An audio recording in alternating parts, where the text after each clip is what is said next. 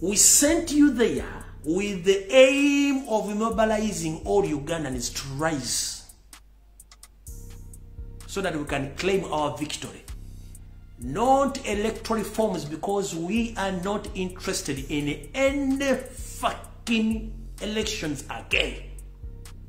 So ever moving around preaching elect electoral reforms come 2026 go eat your mother something something. We are still claiming our victory. I repeat this message.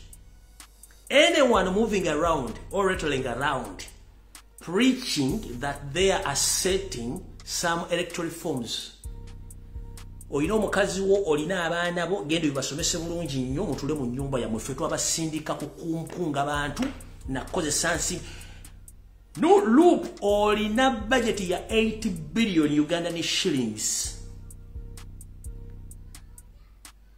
2 billions are enough to arrange the uprising okujjako mu 7 2 billion ugandan shillings.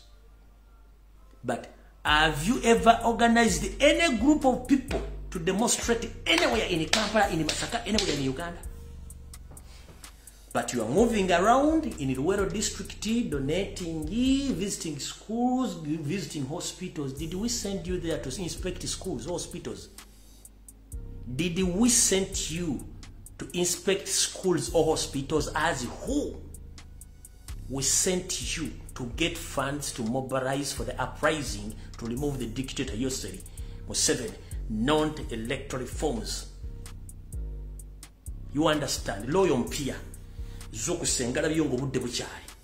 Yoseri gwoli mu kusinikirako ebinyo mukama wo yakola ekigambo kimu yalina baculprits oba bambegabe mu ligimu y'obote ne yamiire abajjanga Yoseri baziwa Yoseri ngaali Tanzania ali luweero ne bajoganya museveni bamugjako oyina bajeti ya biliyoni munana twetagako biliyoni ezi tuziteeke okutegeeza abaana bonna bonna bebali mu ggwanga tutandike uprising oba okujja ku gavumenti towangayo wali nekikumi wadde okudemonstratinga nti waliyo ba kino tekikolangako. Oyambala amasuuti amasuuti tegajjako museveni no.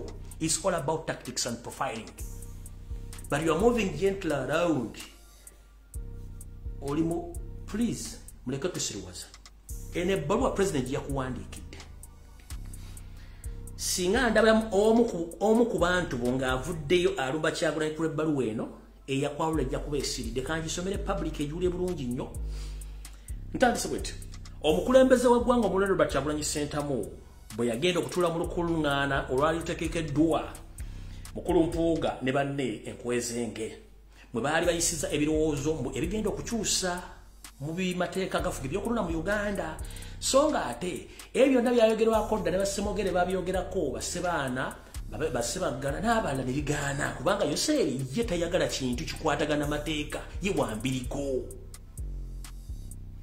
pulezidenti bwe yagenze yabadde agenze mu lukuŋŋaana luno. Kukola ki?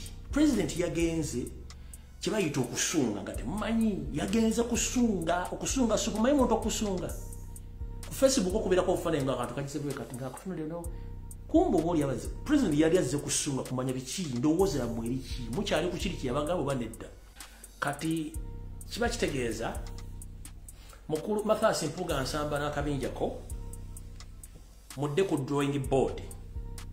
Eno mwayokyezaayo musota teguli ate tetulya misota.